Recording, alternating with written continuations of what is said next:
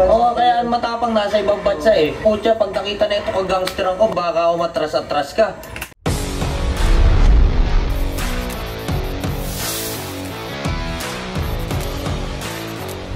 What's up sa inyo mga kapenyo at today meron na naman tayong panibagong reaction video breaking news dito sa Battle of YouTuber Updates at ito nga mga kapenyo kung saan nung nakaraan na video natin any reaction video nga natin yung kay Boss Bullet at dito mga kapenyo, etong si Haring David. Eh talagang legit to mga kapenyo na talagang nag-reply na at rumespond dito nga sa ginawang video ni Boss Bullet. At talagang eto na mga kapenyo, eto ang mainit na labanan ngayon dito kay ah, Haring David. Laban dito kay ah, Boss Bullet, ang bumanggagiba. At talagang mga kapenyo, maanghang din ang pinakawalan na salita dito ni Haring David. At sinabi nga niya na sa airport pa lang isasalubungin niya na nga to etong si Boss Bullet para upakan. Naku, puta ragis, grabe to mga penyo. Talagang ito yung inaantay natin na legit na laban mga penyo. Ito mukhang matutupad na to kasi alam naman natin na in-announce na nga rin ni ah, Boss Bullet na itong si Mamot eh may parating na laban sa URCC. Kaya ah, hindi na muna nakalaban itong si ah, Mamot or hindi na muna naka-reply dito kay Boss Bullet. Kaya naiintindihan natin lahat yon dahil alam naman natin na si Mamot eh URCC fighter yan mga penyo at talagang pro URCC yan. Kaya hindi natin mapipilit yan dito kay Boss Bullet. Pero ito mga penyo, kinasahan mismo ni Haring David etong si Boss Bullet. At dito makikita natin na napakainit na mga salita nga ni Haring David. At tara mga penyo, wag na natin patagalin at sabay-sabay natin panoorin kung ano nga sasabihin ni Haring David dito kay Boss Bullet ang bumangga, ba?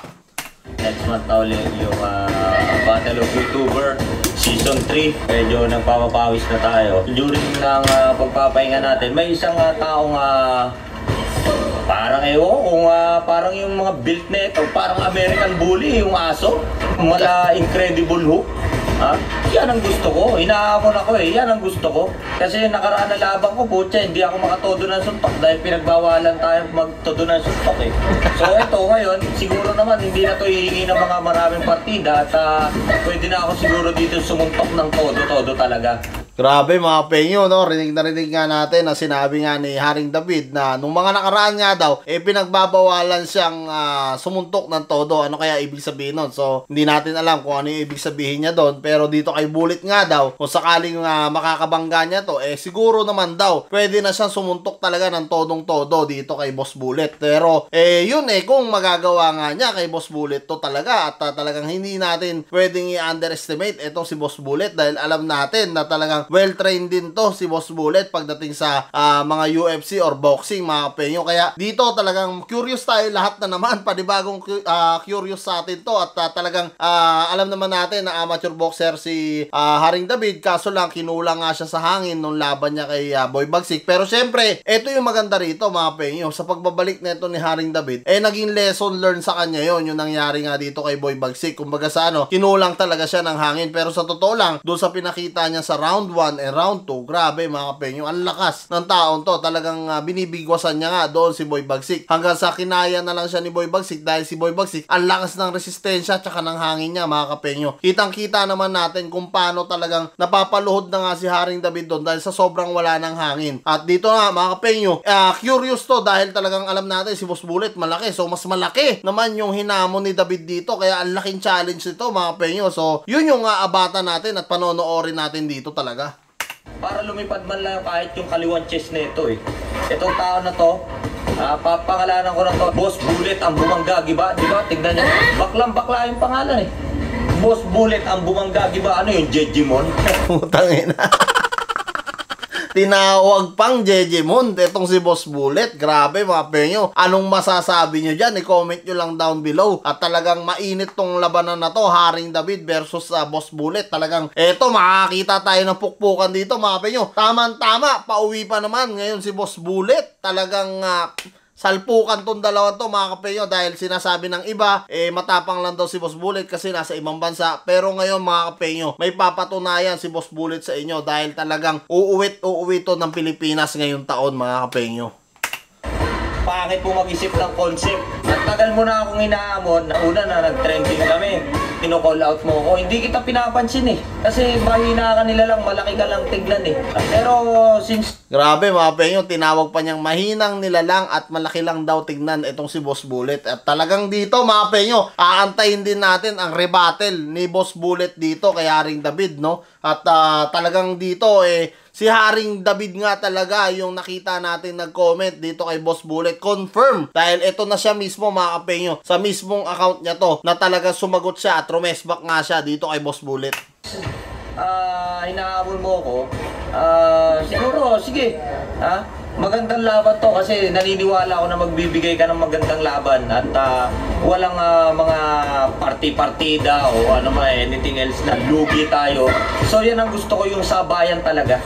At ah, naniniwala ako na ito may may galing talaga eh no kahit matanda na kahit matanda na kahit matanda na ay este matanda na no matanda ka naman talaga eh at Grabe mga pe.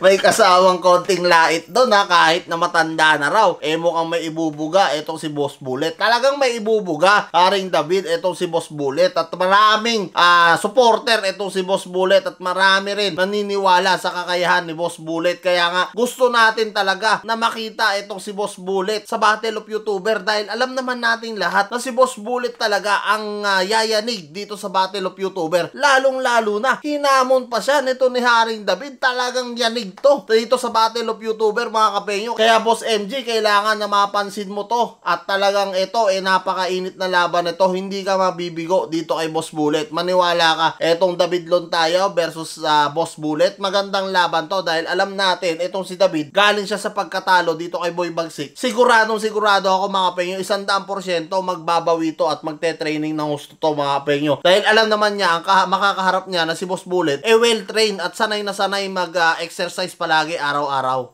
pero parang wala kang pinagkatandaan Ah, ano tinot? Etong ah, si Boss Bullet ang buwang gagi ba? Sinasabihan mo pa kaming Luntayo Sisters. Bakla ka nga. Kung gusto makalaban ako, umuwi ka dito sa Pilipinas. Kahit malaki katawan mo, kahit malaki katawan mo, hindi hindi ako natatakot dyan, hindi ako nai-intimidate dyan. Kaya pala matapang ay nasa ibang bansa. Oo, kaya matapang nasa ibang bansa eh. Pucha, pag nakita na ito kagangsteran ko, baka umatras-atras ka. Grabe mga kapenyo, ayan nga sinasabi ni David Luntayo na baka pag nakita mo yung pagka-gangster ko, eh umatras-atras ka. Eh alam naman natin si Boss Bullet, retire din yan. Galing din sa gangster na magulong buhay itong si Boss Bullet. Kaya talagang salpukan to mga kapenyo, maniwala kayo sa akin sa hindi. Salpukan talaga to, aantayin natin ang response dito ni Boss Bullet. Talagang mainit to mga kapenyo. Sobrang lakas ng hype na itong dalawang to. Kung sakasakali nga itutuloy to ni Boss MG at sigurado ako mga kapenyo, mapapanood ni Boss MG tong video natin dahil lagi nakasubaybay sa atin si Boss MG. Amon-amon ka na sa ibang bansa ka, umu- umu- umuwi ka dito. Airport pa lang, sasalubungin na kita ng masigabong suntukan. Airport pa lang, sasalubungin na kita ng masigabong suntukan. Airport pa lang, sasalubungin na kita ng masigabong suntukan.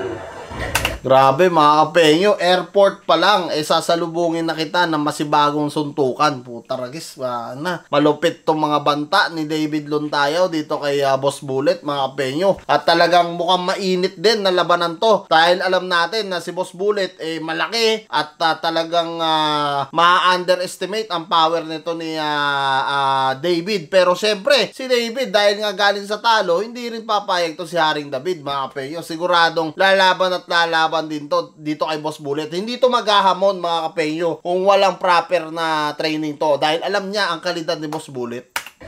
Ha? Susunduin kita kahit anong terminal ka pa. Terminal 1, 2, 3, 4. Susunduin kita. Kung talagang matapang ka at may tira ka, umuwi ka dito. Ha? Patunayan mo. Ha? Patunayan mo, puro nga nga, nagpapahype ka lang yata dahil sikat kami. Masyado ka ng papampam, dumidikit-dikit ka sa mga sikat. Pasalamat ka na lang, pinansing kita. Sino ka ba? Ha?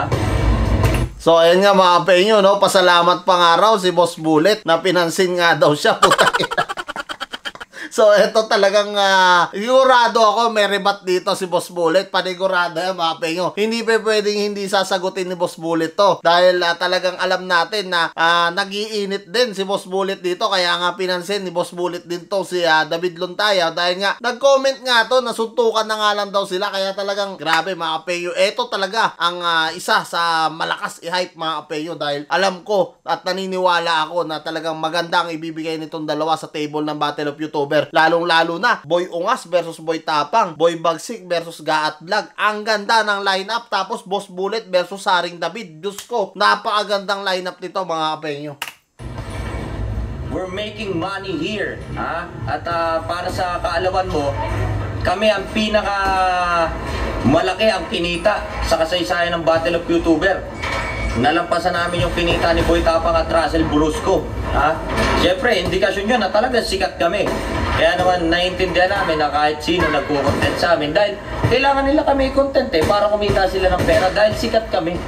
Diba? Sikat tayo. Ha? O ngayon, kung talagang papalag ka, umuwi ka dito. Ah, at patunayan mo galing mo. Brr. So, ayan nga mga kapengyo, no, talagang hinamon na dito ni ah, Haring David na talagang umuwi ka dito kung talagang ah, gusto mo ng ah, laban nga at matapang talaga etong si Boss Bullet. At talagang dito mga kapengyo, aantayin natin yung response ni Boss Bullet dito at gagawaan din natin kaagad ng Battle of YouTuber dahil syempre yan yung inaantay ni Boss MG, yung mga updates natin at ah, yan yung titignan at hihimay-himay niya ni Boss MG, ni Rendon at ni Boss Jonah. Bahala na sila kung ah, sino nga yung ilalatag nila dito sa Battle of YouTuber. Basta tayo at trabaho natin, eh makapag-reaction tayo at makapag-hype tayo ng mga tulad nito ni Haring David versus Boss Bullet at ah, marami pang iba. Ah, Kuya Lods versus ah, Silver Boys. Napakalakas na laban din yan mga kapenyo. Kaya ito yung napakaganda at inaantay nating lahat. Sigurado sasabog ang pay-per-view ni makagago na naman ito mga kapenyo. Naniwala kayo dahil itong Rob Moya versus ah, ah, Bad Boy ng Cebu unfinished business din yan. Kaya talagang, Diyos ko mga kapenyo, ito yung mas kaabang-abang at kapanapanabik dito sa Battle of YouTuber Season 3 na parating. Kaya, Boss MG, ikasa mo na.